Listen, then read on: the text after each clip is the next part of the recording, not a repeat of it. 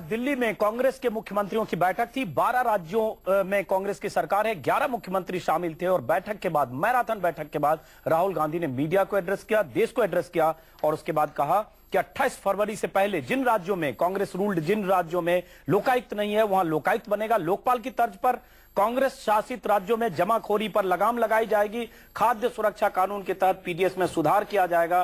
Ration की दुकानें चलाई जाएगी। और भ्रष्टाचार से लड़ने की कोशिश को तेज की जाएगी। राहुल गांधी ने कहा, साथ में यह भी कि आदर्श घोटाले की रिपोर्ट पर महाराष्ट्र सरकार के फैसले से असहमत हूँ। आदर्श घोटाले की वही रिपोर्ट थी जिसे महाराष्ट्र सरकार ने, कैबिनेट ने खारिज किया। जिस रिपोर्ट में कहा गया कि महाराष्ट्र के तीन नेताओं के नाम हैं, एक दो पूर्व मुख्यमंत्री, एक मौजूदा केंद्र के मंत्री। और उसे खारिज किया गया, लेकिन राहुल गांधी ने उस सरकार के, महाराष्ट्र सरकार के, अपनी सरकार के फैसले से असहमति जताई। क्या कहता है राहुल गांधी का यह तेवर? और ऐसे वक्त पर जब चार राज्यों में हार हुई, दिल्ली में केजरीवाल की कल सरकार बनने जा रही है, कांग्रेस के समर्थन से। इसी मुद्दे पर बातचीत करने के लिए हमारे साथ कई मेहमान हैं। स्टूडियो में मोहम्मद अफजल साहब है। फिर आप ही से शुरू करता हूँ, अफजल साहब। कल केजरीवाल की सरकार बन रही है। बहुत मुश्किल से, बहुत दर्द के साथ, बहुत तकलीफ़ के साथ, बहुत जलील होकर, बहुत गालियाँ खाकर, बहुत तू तू मैं मैं के साथ एक भी तारीफ़ के शब्द आप पार्टी की तरफ़ से नहीं है, फिर भी आपको समर्थन देकर सरकार बनाना पड़ रहा है। और आज, एक दिन पहले क्या शुक्रिया अदा करने की स्थिति में है आम आदमी पार्टी के नेता आपको? देखिए, मैं आपको एक ही बात कहूँगा कि हमने ना तो कभी गालियों की परवाह की है, और ना ही उन्होंने जो कुछ कहा उसको बहुत ध्यान दे करके हमने अपने दिल में डाला है। हम ये समझते हैं कि हम आवाम की जो मंशा है और आवाम का जो ख्वाहिश है, उसका एहतराम करना हर पॉलिटिकल पार्टी की ज़िम्मेदारी है। दिल्ली के अंदर हमारी ज़िम्मेदारी नहीं थी। भारतीय जनता पार्टी पहले ही अपनी ज़िम्मेदारी से कूच कर गई। उसके बाद आप पार्टी भी कुछ करना चाहती थी, दोबारा इलेक्शन में जाना चाहने का इनका मूड लगता था। हमने महसूस किया कि इस वक्त दिल्ली की आवाम को इलेक्शन में ना झोंके। और हम उनको सपोर्ट दें और हमने उनको सपोर्ट देने का वादा किया। तो आप जनता के लिए बड़ी फिक्रमंद हैं इससे आपकी बात हम से हमेशा से- हमेशा से जनता के प्रति अगर सबसे अधिक कोई फिक्रमंद है तो आपकी पार्टी है। इसीलिए देश में जमाखोरी इतनी है भ्रष्टाचार इतनी है महँगाई इतनी है दिल्ली में प्याज के दाम बढ़ते हैं। शीला दीक्षित हाथ जोड़कर जो भी जमाखोर है उनसे प्रार्थना करती है कि भाइयों दोस्तों जमाखोरो इतना बेरहम मत बनो जनता पर इतना बेरहमी मत दिखाओ। थोड़ा सा अजीत अंजुम साहब सवाल उनसे भी कर लिए जिस पार्टी को ये लोग सपोर्ट करते हैं जमाखोर। जरा उनसे भी कुछ सवाल कर ले तो नलिन कोहली की तरफ़ आपका इशारा है। और किसकी तरफ़? नलिन कोहली जी जवाब दीजिए जमाखोर आपकी पार्टी को सपोर्ट करते हैं जमाखोरों की पार्टी। हालाँकि आप पार्टी आपको लुटेरों भ्रष्टाचारियों चोरों की पार्टी तो है, इलेक्शन के अगले दिन इलेक्शन के अगले दिन ही प्याज सस्ती होनी शुरू हो गई पच्चीस रुपए बिकने लगी। पहले तो हर हर टेलीविज़न पर प्याज दिखाई जा रही थी सौ रुपए किलो। अब पच्चीस रुपए हो गए तो आज कोई क्रेडिट देने को तैयार नहीं है। पूरे देश में प्याज सस्ती हो गई। डॉलर जवाब सवा नौ सौ तो डॉलर में प्याज एक्सपोर्ट करने का हमने जवाब पाबंदी लगाई। आज डेढ़ सौ डॉलर में प्याज भेजी जा रही, इतनी पड़ी हुई है कि सड़ेगी जवाब दे दीजिए, जी। सबसे अद्भुत बात है कांग्रेस पार्टी की कि हर चीज़ के लिए एक बहाना ज़रूर है और जहाँ तक हो संभव भाजपा को एक बहाना और है हमारे पास। चार स्टेट में आपकी सरकार थी, वहाँ कहीं नहीं, मैं अपनी बात तो कह दूँ मैं अपनी बात तो कह दू मैं अपनी बात तो कह दूँ कहिए, कहिए। सुन ही नहीं रहे कहिए। ऐसा है आपकी अगर बातें चले तो मुझे लगता है कि प्रधानमंत्री शायद बीजेपी के प्राइमरी मेंबर होंगे क्योंकि मतलब भाजपा की वजह से ही इस देश में भ्रष्टाचार हो रहा है। भाज और ऐसा होगा कि चिदम्बरम जी भी हमारे प्राइमरी मेंबर होंगे कि महँगाई जो रुकी नहीं देश में, वो भी भाजपा की वजह से नहीं रुकी होगी। और घोटाले जितने हुए, शायद वो सब भी भाजपा के प्राइमरी मेंबर होंगे। नहीं तो शायद गुप्त रूप से आरएसएस के मेंबर होंगे। आपने आज ये नहीं कहा। देखिए, ऐसा है, बात क्या है? आपकी अर्थव्यवस्था संभली नहीं। ये देश के सामने स्पष्ट हो गया है कि एक अर्थ अर्थशास्त्री, प्रधानमंत्री शायद किताबी अर्थशास्त्री हैं, क्योंकि देश में उनकी अर्थशास्त्र को चलते महँगाई बढ़ती गई है लगातार नौ साल। घोटाले हुए आज देश के जितने हमारे उद्योगपति हैं, विदेश में अपनी संपत्ति लगाना चाहते हैं, क्योंकि यहाँ पर निवेश करना शायद पाप हो गया है। इंफ्रास्ट्रक्चर के सारे प्रोजेक्ट्स रुके हुए हैं। जवाब दीजिए। आज मतलब आप देखें कोर्टों में ये हर चीज़ रुक रहा। है क्योंकि निर्णय सरकार ले नहीं रही। नलिन जी अब इनको जवाब देने दीजिए एक बार उसके बाद दिलीप पांडे और शरद प्रधान के पास भी जाना होगा। नलिन जी जवाब दे दीजिए। नलिन जी मैं आपसे पूछना चाहता हूँ जब आपकी सरकार थी छह साल पाँच साल चलाया आपने तो आपके यहाँ तो मेरा ख्याल है हर साल महँगाई घटती रही थी बढ़ी नहीं थी। आप कह रहे हैं नौ साल। हाँ हाँ अगर हमने हमा, हमारे को लोगों ने। हमारे लोग खिलाफ होते अच्छा, तो हमको दोबारा मैंडेट नहीं देते। सुषमा स्वराज दोबारा वजह नहीं देते। हूँ असत्य कहा है एक असत्य कहा है मैं आंकड़े गिनाना चाहता हूँ क्योंकि इन्होंने इनको शायद जानकारी नहीं होगी। भाजपा की सरकार जब बनी एनडीए की सरकार अठानवे में उस टाइम इन्फ्लेशन इस देश में आठ प्रतिशत के करीब था और जब हम गए तो तीन प्रतिशत से कम था। ये इकोनॉमिक्स के आंकड़े आप दिखा रहे हैं हमको। rate हमारे देश आम जनता से पूछिए उसको उसको प्याज सस्ती मिलनी शुरू हुई या 9% पे ले गए। महँगी मिली? चलिए अब मुझे बाकी दो मेहमानों को भी इसमें शामिल करना पड़ेगा। माफ़ करें आप दोनों को रोक रहा हूँ। दिलीप पांडे आपके पास आता हूँ।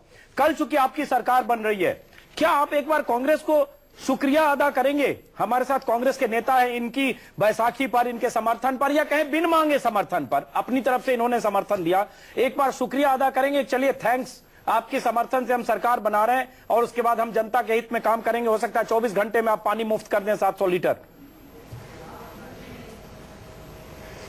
अ, अजय जी दिल्ली में सरकार बनाना हमारे लिए बहुत बड़ी ज़िम्मेदारी का विषय रहा है। और इसमें कहीं भी कोई व्यक्तिगत लाभ हानि का सवाल नहीं था कि हमें समर्थन मिल जाए कहीं से तो हम बहुत खुश हो जाएँ या हमें अगर समर्थन न मिले तो हम बहुत दुखी हो जाएँ।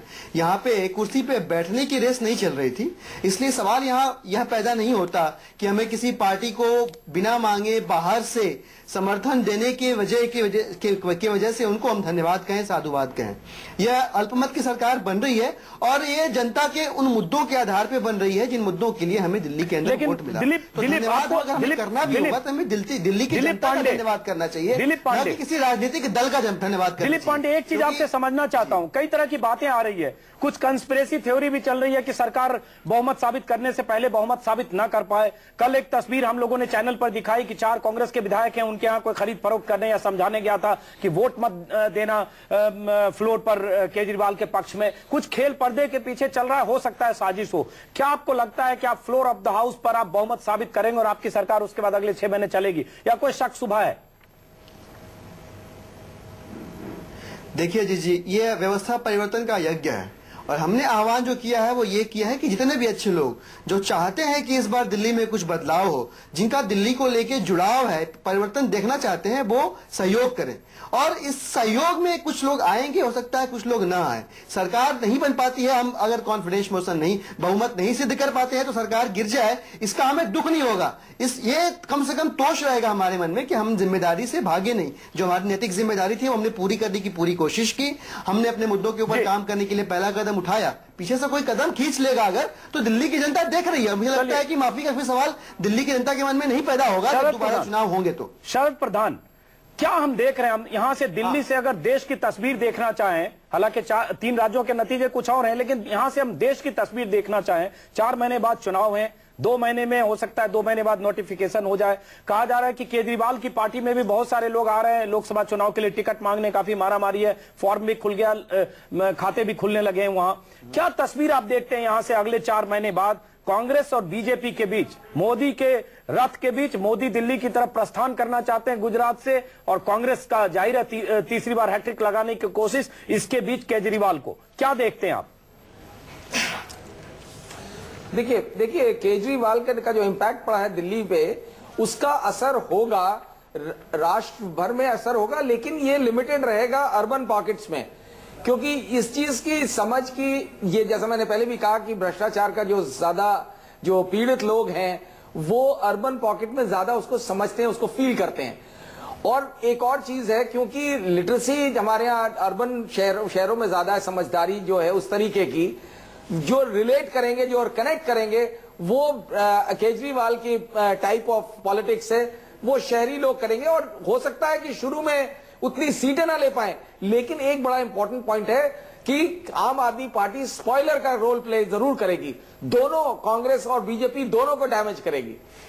और जहाँ दूसरी पार्टीज़ हैं पावर में मैं उन स्टेट्स की बात कर रहा हूँ जहाँ कांग्रेस या बीजेपी पावर में या जहाँ जैसे यूपी में समाजवादी पार्टी और बसपा है उनके ऊपर भी असर पड़ेगा। जहाँ गवर्नेंस में हैं जो लोग चाहे चाहे वो डीएमके हो एडीएमके हो तो इस तरीके से उनके ऊपर डेफिनेटली नेगेटिव असर पड़ेगा। पड़ेगा। नलिन कोहली। पार्टीज़ के ऊपर आम आदमी पार्टी का नलिन कोहली spoiler का काम बहुत कम करेगी, है, बहुत कम है। ये एक फैक्टर है जिसकी वजह से वो भी नहीं मैसेज नलिन कोहली कह रहे हैं स्पॉइलर का काम करेंगे। और अर्बन जो शहरी क्षेत्र हैं जो लगभग नब्बे पंचानवे ऐसी लगभग सौ कंस्टिट्युएंसी ऐसी है जो शहरी क्षेत्र की कंस्टिट्युएंसी है वहाँ एक फैक्टर होगा और मोदी का रथ आप आप देख रहे हैं, अगले प्रधानमंत्री के तौर पर ज़ाहिर है, मोदी भी सपना देख रहे हैं, वो सपना बीजेपी के सारे नेताओं, कार्यकर्ताओं का होगा। उस सपने में कहीं न कहीं पलीता लगाने का काम केजरीवाल कर सकते हैं या आप बिल्कुल खारिज करते हैं कि नहीं, कोई फ़र्क नहीं पड़ेगा, दिल्ली में 28 ले लिया तो क्या हुआ, बाकी कुछ नहीं है। पहली बात है कि हर व्यक्ति का और पार्टी का स्वागत है राजनीतिक प्रक्रिया में और चुनावी प्रक्रिया में। यदि आम आदमी पार्टी राष्ट्रीय भर में या अलग अलग राज्यों में अपने प्रत्याशी उतारना चाहते ये इनका निर्णय है। आज तक जितनी भी पार्टियाँ हैं, वो ऐसा थोड़ी ना निर्णय लेते हैं कि कौन हमारे सामने लड़ेगा, नहीं लड़ेगा। हर पार्टी अपनी मजबूती के लिए काम करती है और जनता तय करेगी जो भी निर्णय आएगा। दूसरी बात आपने जो अभी कहा कि स्पॉइलर का, मुझे लगता है थोड़ा आकलन कर लेते हैं। अभी चार राज्यों में हम सिर्फ़ दिल्ली केंद्रित बात कर रहे हैं। तीनों राज्यों में आम आदमी पार्टी उतरी नहीं। शहर तो मतलब राजस्थान में भी है छत्तीसगढ़ में भी है और मध्य प्रदेश में भी है। तो हमने अभी तक कोई बात नहीं की किसी ने रोका भी तो नहीं कि आम आदमी पार्टी अपने प्रत्याशी वहाँ उतार दे। तीसरी बात मैं ये कहना चाहूँगा जब आप दिल्ली का भी आकलन करेंगे तो अधिकांश वोट जो है कांग्रेस के सिकुड़ गए। मतलब इस रूप से अगर आपकी सेहत पर तो कांग्रेस नहीं पड़ेगा, तो पैंतालीस से आठ पे आ गई चौबीस पच्चीस परसेंट। मतलब नहीं मैंने ऐसा नहीं कहा। मैं अपने शब्दों को नपे तुले बोल रहा हूँ।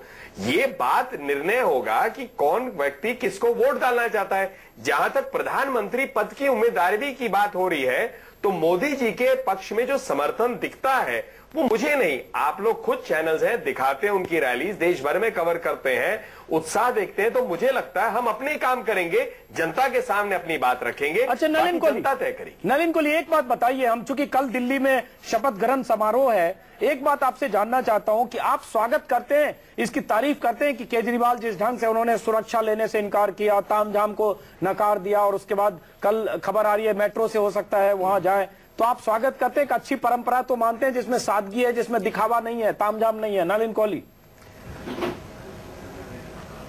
अजीत भाई, पहली बात तो मैं आम आदमी पार्टी को बधाई लगातार कह रहा हूँ और लगातार देता रहा हूँ कि इन्होंने वो कदम उठाया, राजनीतिक प्रक्रिया में उतरे, चुनावी प्रक्रिया में उतरे और बधाई के पात्र हैं कि इनके 28 सीटें आए। ये कोई मज़ाक नहीं।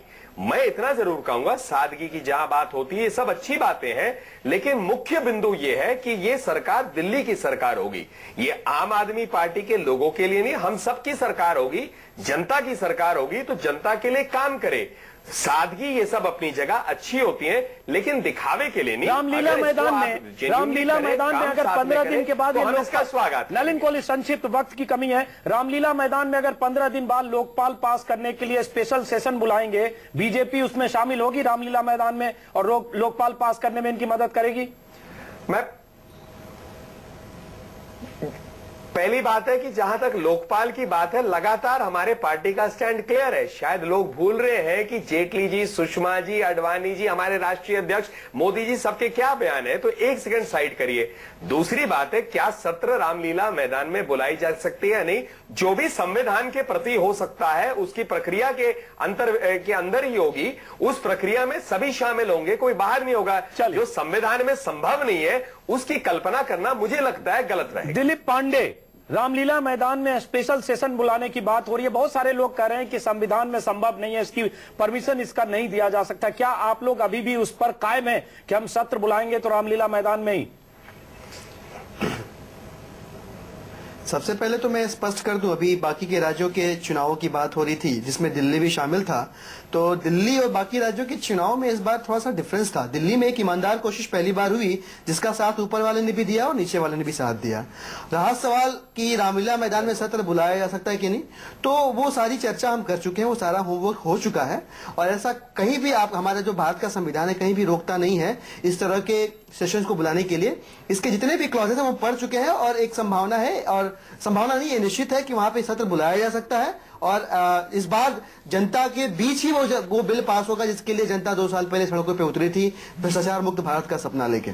चलिए, दिलीप, शरद प्रधान, संक्षिप्त टिप्पणी आपको आपसे लूँगा कार्यक्रम, चूँकि हमें खत्म करना है, वक्त की कमी है। शरद प्रधान किस ढंग से, जिस ढंग से आम आदमी पार्टी दिल्ली में एक फैक्टर बनकर उभरा और जिस ढंग से आम आदमी पार्टी ने कम खर्चे कम खर्चे में मुख्यमंत्री से लेकर मंत्रियों के रहन सहन को लेकर एक आचार संहिता की बात की, क्या इससे कुछ सीखने और सबक लेने की ज़रूरत है? आज हमने देखी दिल्ली में ग्यारह मुख्यमंत्री थे और वही गाड़ियों का काफिला, वही लाल बत्ती की गाड़ियाँ, वही दिखावा, वही काफिला और सुरक्षा के तमाम ताम झाम क्या इससे अब भी सचेत होने और सीखने की ज़रूरत नहीं है बीजेपी और कांग्रेस को?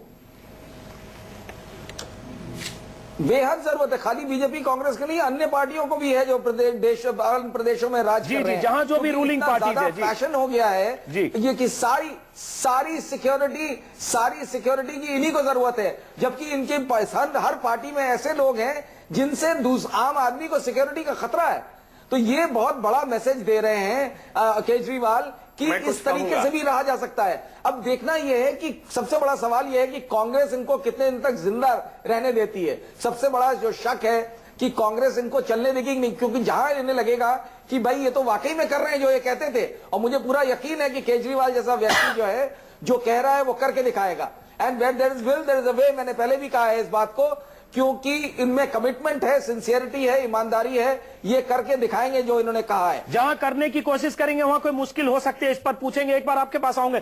जहाँ करने की कोशिश आपके पास आ रहा हूँ बिल्कुल उस पे उस पे मुश्किल हो सकती है। जी जहाँ करने की कोशिश होगी क्या कुछ डोर आपने तय कर रखी है कि ये डोर इतनी ढील देंगे और यहाँ से जहाँ करेंगे हम ढील वो रस्सी खींचना शुरू कर देंगे? देखिए अजीत साहब ना हमने ऐसा कोई फैसला किया है ना हम इस बात में यकीन करते हैं। हमने सिर्फ़ इनको बाहर से सपोर्ट दिया है।